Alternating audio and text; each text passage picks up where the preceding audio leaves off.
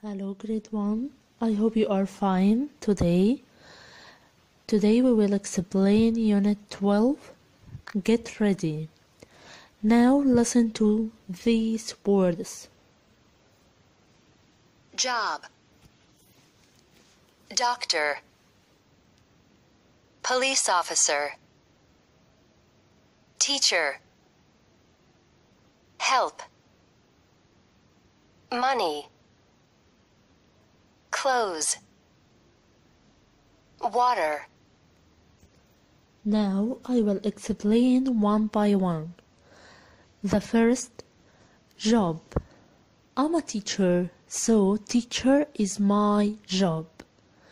Job means doctor, police officer, teacher. All of these are jobs. Okay, so when I say I'm a teacher, so teacher is my job. Okay, the second one, doctor. Doctor helps sick people.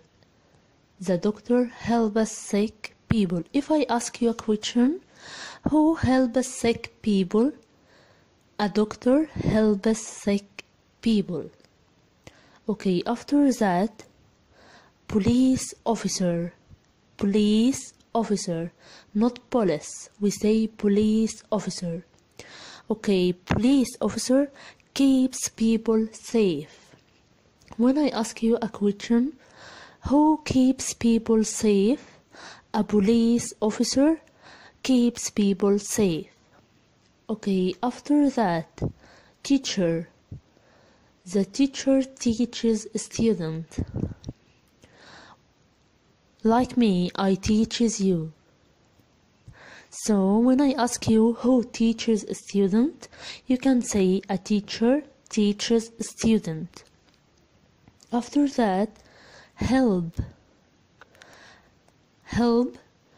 The parents help their children. Parents helps their children. The teacher helps their student by teaching them. The doctor helps sick people. Okay, after that, money. We need money to buy things. I need money to buy clothes. Okay, we need money to buy supplies like school supplies. Then after that, clothes. Clothes. We don't say clothes, we say clothes. Okay, clothes like your uniform in the school, like this t-shirt, pants, all of these are clothes. After that, water. Okay, when I say I'm thirsty, I need water to drink.